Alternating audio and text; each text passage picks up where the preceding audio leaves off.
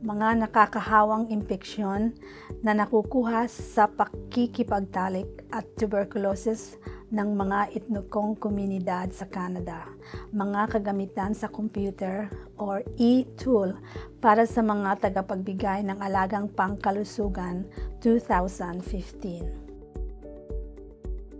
Ang kagamitang ito mula sa computer e-tool ay nabuo bilang bahagi ng isang higit na malaking proyekto tungkol sa hepatitis C at mga kaugnayan na nakakahawang sakit sa mga matataas ang panganib sa etnikong komunidad na nakatutok ang pansin sa mga nakakahawang impeksyon na nakukuha sa pakikipagtalik o sexually transmitted infection at tuberculosis or TB. Ang kagamitang ito, e-tool, ay idinisenyo upang tulungan ang mga tagapagbigay ng alagang pangkalusugan na lumikha ng kaalaman tungkol sa mga sexually transmitted infection at tuberculosis sa limang piniling komunidad sa Canada at upang turuan ang mga tao na gumawa ng nararapat na hakbang upang maiwasan ang paglaganap ng mga sakit na ito. Ang proyektong ito ay isinagawa ng Canadian Sangguniang Ethnocultural o Canadian Ethnocultural Council, isang hindi nagtutubo, walang pinapanigan, koalisyon ng mga pambansang samahang ethnocultural sa Canada. Sa proyektong ito, limang etnikong populasyong imigrante ang kinilala. Incheck, Silangang India, Ehipto, Pilipino, at Vietnamese. Bakit ito mga etnikong komunidad? Ang pagpili ay ibinatay sa mga sumusunod na pangyayari. Una, ang porsyento ng mga hindi pa nakakatagalang imigrante sa Canada mula sa mga bansang ito.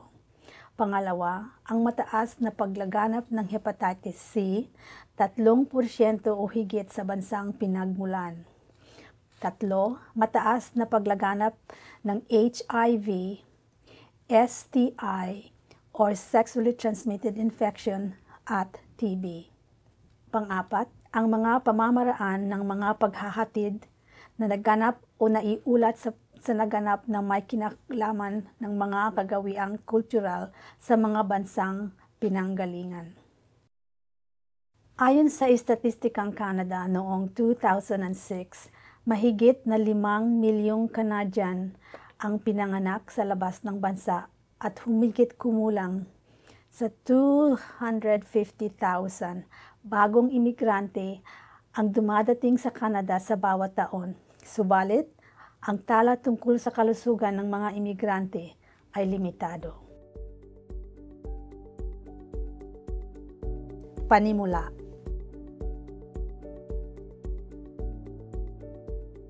Sa Canada, ang sexually transmitted infection at TB ay nagpapatuloy na mahalagang pangkalusugang publikong alalahanin.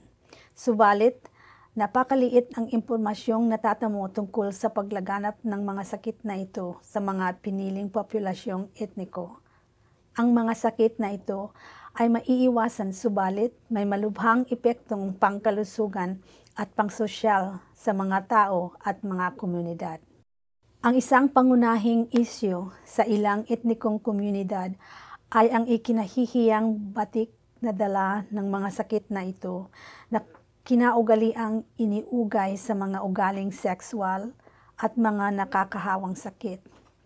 Ang mga taong na-examine na mayroong mga sakit na ito ay maaring nakaranas ng pagkahiya, pangulila at kawalan ng pag-asa.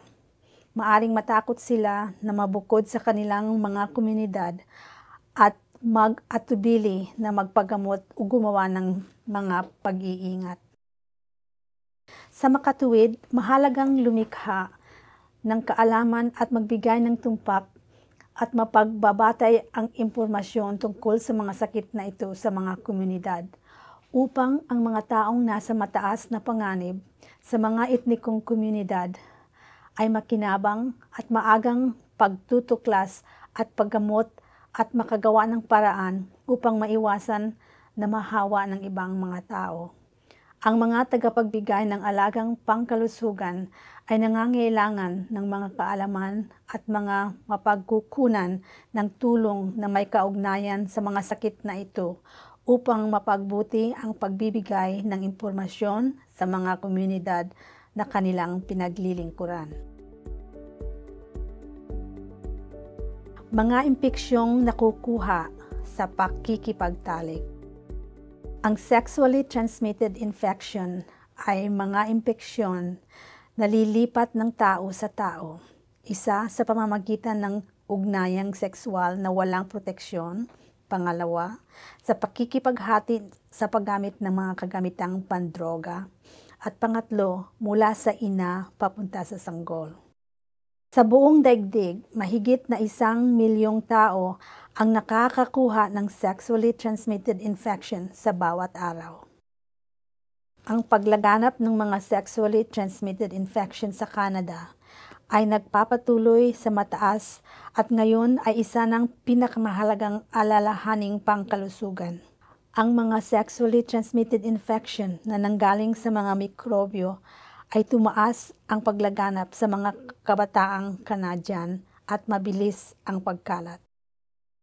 Ang pinakakaraniwang sexually transmitted infection ay ang tinatawag na pantaong papilloma virus, HPV, pantaong immunodeficiency virus, HIV, syphilis, gonorrhea at chlamydia. Ang syphilis, gonorrhea at chlamydia ay dinadala ng mga mikrobyo. Kadalasan ay matagumpay itong nagagamot sa pamamagitan ng karapat-dapat na pag-aasikaso. Ang HIV at HPV ay mga uri ng impeksyon na bagamat hindi mapapagaling, maari itong gamutin at pamamahalaan. Ang mga sexually transmitted infection ay maaring panggalingan ng hindi pag-aanak sa babae, gayon din sa lalaki. Mga suliranin sa pagbubuntis, mga sanggol na ipinanganak ng patay, o maging dahilan ng mga iba pang sakit sa bagong panganak ng mga sanggol. Ang karamihan ng mga sexually transmitted infection ay walang sintomas. Ang ilang mga sintomas ay maaring mangyari ay ang mga sumusunod hindi karaniwang pagtulo at pagdurugo mula sa puki, ulcer sa puki o sakit ng tiyan. Mga eksamin para sexually transmitted infection ay kasama sa mga sumusunod. Impeksyon sa paningin, eksamin sa dugo, eksamin sa ihi, eksamin sa pamamagitan ng pagsusuwab. Ang mga sexually transmitted infection ay maaring maiwasan sa pamamagitan ng ligtas na pakikipagtalik, paggamit ng kondom kahit sa pakikipaghati ng mga laruang pangsekswal, paggamit ng bagong karayom at hiringgilya sa bawat pagkakataon at hindi paghati ng mga iba pang nagamit ng kagamitan sa droga. Regular ang pagpapa-examine. Ang pagkakaroon ng isang sexually transmitted infection ay nakakaragdag sa panganib na magkaroon ng iba pang sexually transmitted infection. Ang ibang sexually transmitted infection ay nagbibigay ng panganib na nakakuha sa HIV at paglilipat sa kanilang partner o mga partner ng humigit kumulang sa tatlong beses.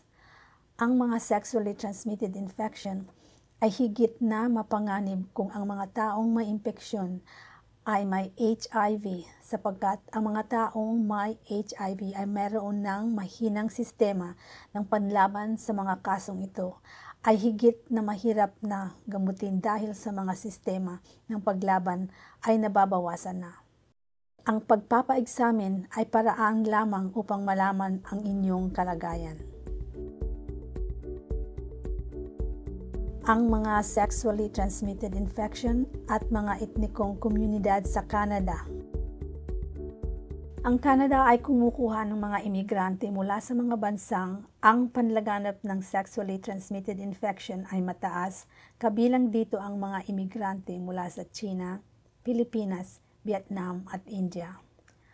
Ayon sa isang ulat ng pangdaigdig ng Samahang Pangkalusugan, World Health Organization, Noong 2012, ang rehiyong Kanlurang Pasipiko na kasama ng ibang mga bansa ang China, Pilipinas at Vietnam, ang paglaganap ng tinatayang para sa tatlo ng mga karaniwang sexually transmitted infection, chlamydia, gonorrhea at syphilis, ay may kalahatang 51.66 million.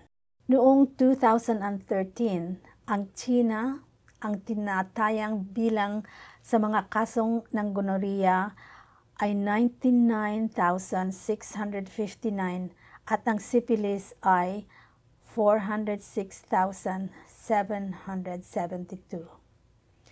Ang higit sa maraming bilang ng kaso ng syphilis ay nasa mga rehiyon ng China na meron ding malaking suliranin ng nakakahawang impeksyon sa pakikipagtalik na HIV. Sa Pilipinas mula noong 1991, ang paglaganap ng sexually transmitted infection ay nagpatuloy na tumaas sa mga taong may hanap buhay ay nakikipagtalik at sa mga babaeng buntis. Karamihan sa mga sexually transmitted infection ay mga naiulat na mga sakit sa Pilipinas, subalit ang mga kalak lakarang pag-eksamin lalo na sa populasyong mataas ang panganib ay hindi naisasagawa dahil sa kakulangan ng pananalapi at kalamang teknikal. Ang pambansang surian ng Ministeryo ng Kalusugan ng mga Vietnamese ay nakapaglista ng 202,856 na ang kasong may bagong sexually transmitted infection. Sa Vietnam noong 2006, subalit ang tunay na bilang ng mga kaso ay maaring higit na mataas dahil marami sa mga pasyente ang nagpupunta sa mga pribadong doktor at parmasyutiko na hindi nagulat sa Ministeryo ng Kalusugan. Ang India ay nag-uulat ng humigit kumulang sa 30 milyong mga kaso ng mga taong may sexually transmitted infection taon-taon at mga 10 milyong tao bawat taon ang nagamot. Ang paglaganap ng mikrobyo ng sexually transmitted infection ay bumababa dahil sa tumataas ang pagkakataong sa pagtatamo ng mga antibiotic na hindi na kailangan ang reseta. Ang paglaganap ng tinatawag na viral sexually transmitted infection ay tumataas dahil sa ang malaking bilang ng hindi naieksaming mga tao at kakulangan ng mag- magaling bilhin mga pamamaraan at pagsusuri at dahil din sa hindi nagagamot ang mga sakit na viral. Ang tunay na bilang ng mga sexually transmitted infections sa Ehipto ay hindi alam maliban sa estatistika sa HIV. Noong 2013, 383 mga bagong kaso ng HIV ang natagpuan sa Ehipto na may pagtaas sa mga naiulat na mga kaso na 5.16% sa pagitan ng 20,000 hanggang 2013. Ang magkasamang impeksyon ng HIV at TB.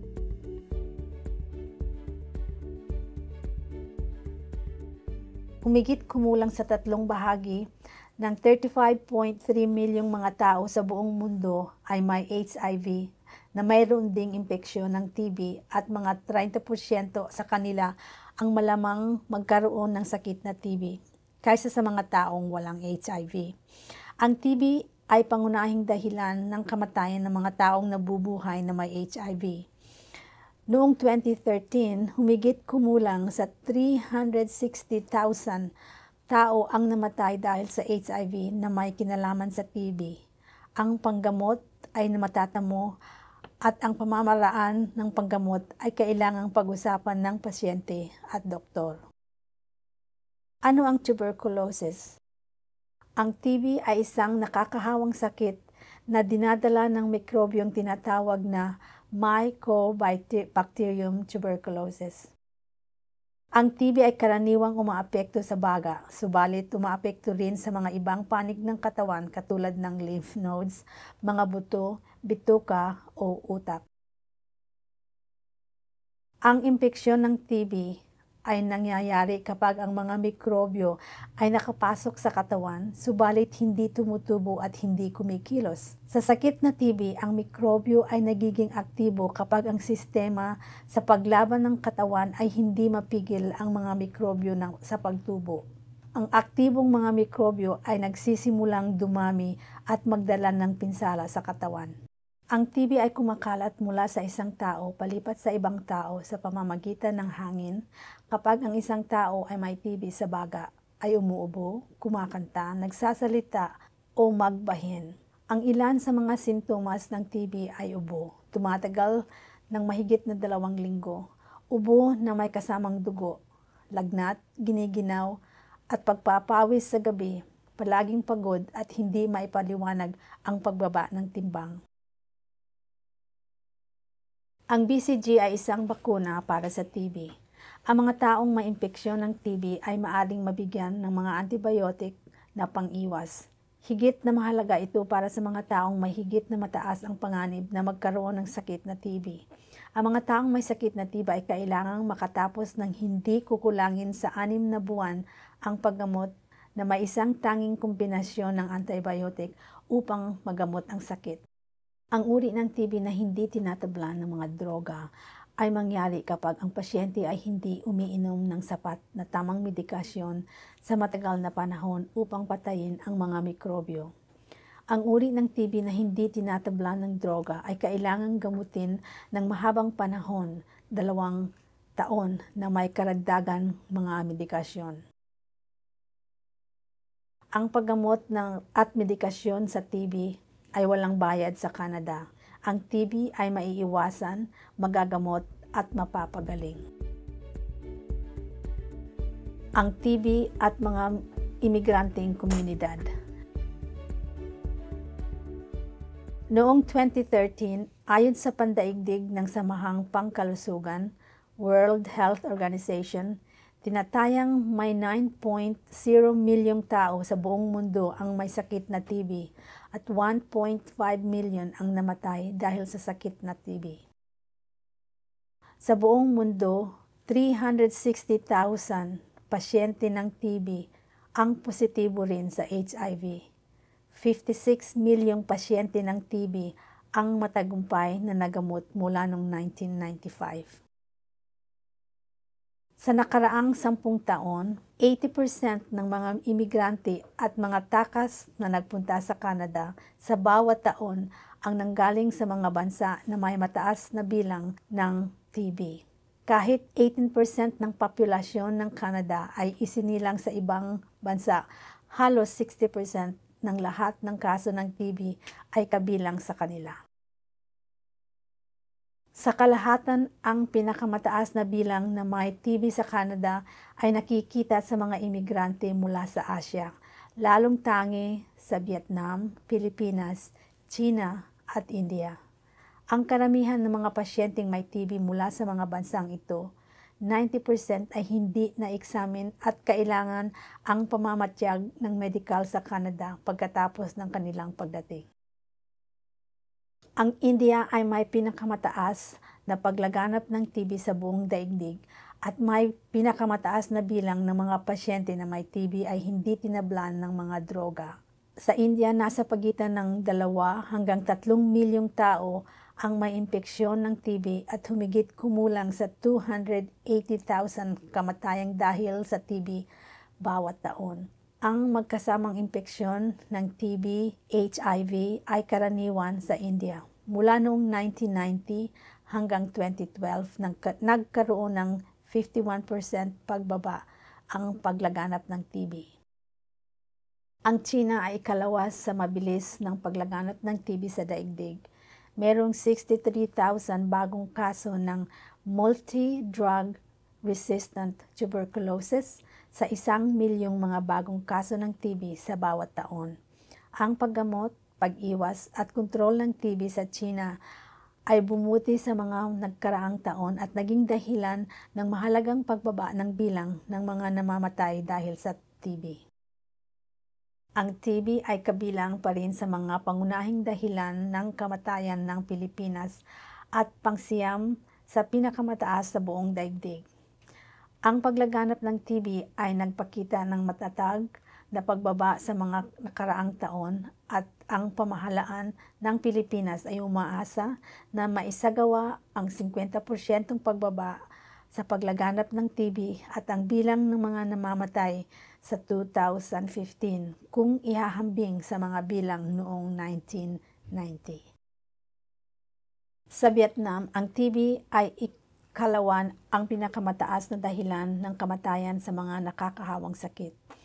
Ito ay panlabing dalawa o labing dalawang bansa kinilala ng pandaigdig sa samahang pangkalusugan na may pinakamataas na paglaganap ng TB.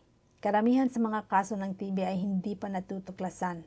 Ang pamahalaan ay nagsusumikap na kasama ng ibang mga ahensya pandaigdig na mapabuti ang pagtuklas at paggamot ng TB. Sa Ehipto, ang TB ay pangatlong dahilan ng kamatayan ng mga nakakahawang sakit. Sa isang kumakailang lamang na ulat, nagpapakita na ang pagitan ng 2000 at 2013, nagkaroon ng humigit kumulang na 2% pagbaba ng bilang ng dami ng mga may TB. Ang ihinto ng TB sa Ehipto na sinimula ng pambansang palatuntunan sa TV noong 2009 ay nagtatag ng mga kampanya sa pagtawag pansin at mga paglilingkod upang mabigyan ng paglilingkod na suporta ang mga pasyente. Ang pinakamataas na bilang ng mga kaso ng TB ay hindi tinatablan ng mga droga o tinatawag na multi-drug resistant ay makikita sa India, sa China, Pilipinas at Vietnam.